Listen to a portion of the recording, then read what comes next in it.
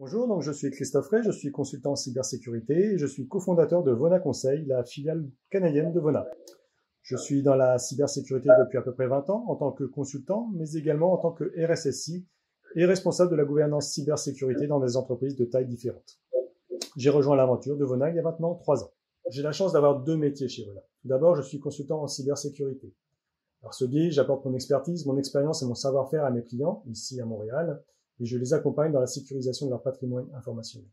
Ensuite, je suis gérant d'entreprise. Ma mission est de gérer au quotidien l'entreprise ici à Montréal.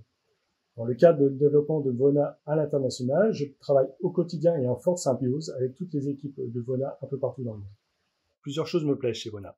Tout d'abord sa taille, certes modeste, mais qui permet une vraie interaction entre le collaborateur.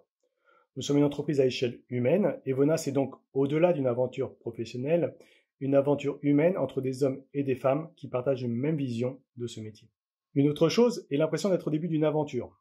Vona est une société relativement récente et nous sommes à ce moment de la vie de l'entreprise où tout reste à faire, ce qui peut paraître énorme, mais où le champ des possibles semble infini.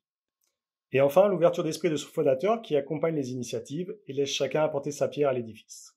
Alors comme dans toute jeune entreprise, les challenges sont nombreux. Celui qui me tient le plus à cœur, c'est la réussite du développement de Vona Conseil ici au Canada.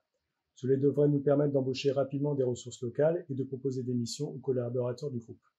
Et peut-être, pourquoi pas, à vous si vous nous rejoignez.